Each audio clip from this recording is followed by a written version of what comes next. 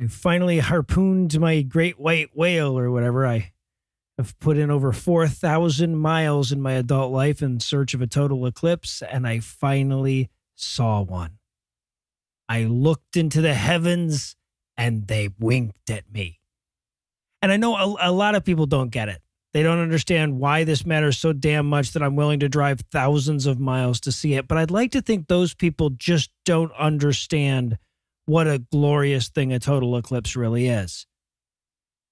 If we lived in a Star Trek universe with interstellar travel and dozens of other intelligent species that we knew of, the way we'd sell Earth as a galactic tourist destination would be our eclipses. They are truly incredible.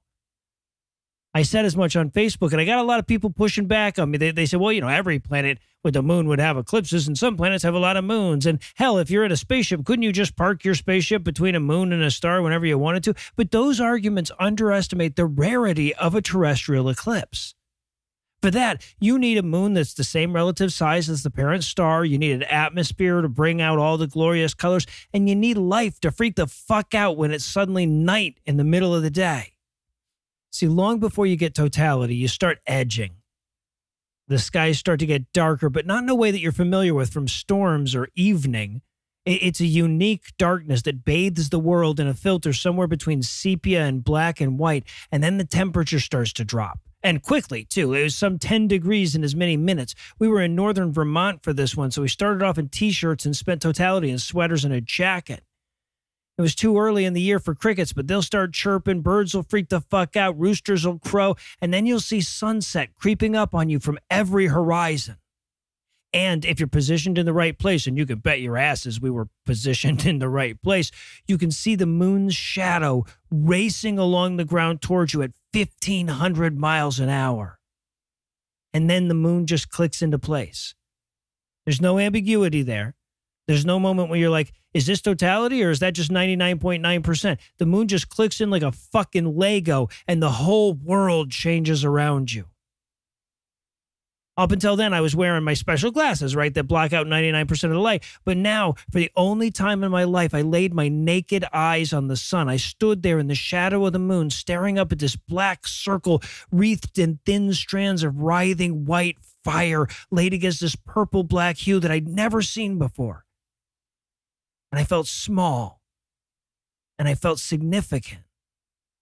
And I felt the glorious burden of consciousness, of being one of those rare bits of matter that gets to comprehend beauty. And I feel a rush of communal reverence as I share this profound moment with a hundred random strangers in this field and a hundred more in the next field and thousands and millions more stretching all the way back to Mexico. And I feel this rush of ancestral reverence as innate terror and wonderment suddenly linked me to the millions and billions of past witnesses stretching all the way back to the Miocene. And because the phrase, fuck those fucking Christians, is never that far from my mind, as I stood there drinking in this experience that I traveled so far to have, I couldn't help but think to myself, fuck those fucking Christians. How dare they try to pretend that they have a monopoly on awe? Here I am contemplating the astronomical lottery that we won to have such a perfect combination of lunar satellite and parent star, trying to look through the eyes of our pre sapient forebears, marveling at the chain of brilliant deductions that allow us to predict these motherfuckers to begin with. And where are they? Where are the Christians, these masters of awe? They're hiding from the fucking sun. They're dreading the human sacrifices that the eclipse is going to kick off as it ushers in the goddamn end times. They're putting up snarky Facebook posts about how you'll be pretty sorry when they get raptured later today and you don't. I mean, for Christians, Yahweh made the sun, he made the moon. It only made sense for him to make them the same apparent size. In that case, eclipses are no more remarkable than a willow tree or a snowflake, right? They're simply a God making the logical choice when it comes to relative moon sizes but they're also, for some fucking reason, imbued with ominous portent. What's God trying to say with this eclipse? What dreadful message do the skies hold for us? So not only are they looking at it as a relatively unexceptional occurrence, but they're also poisoning that experience with nonsensical panic.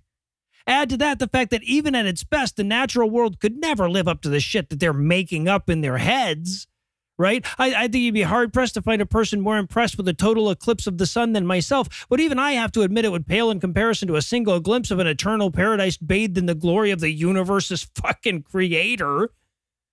Right? In their books, God made the sun stand still just to help out with a military campaign. If you ask the Catholics, he made the sun dance around in a way that only a few thousand Portuguese people could see barely a century ago. So cool as it may be, eclipses probably don't even make the top five of shit God does with his sun. So here I am, marveling at the most incredible sight I've ever seen, free from the taint of irrational fear, teleological passivity, and magical comparisons. And I can fully experience awe without even having to make shit up to be in awe of.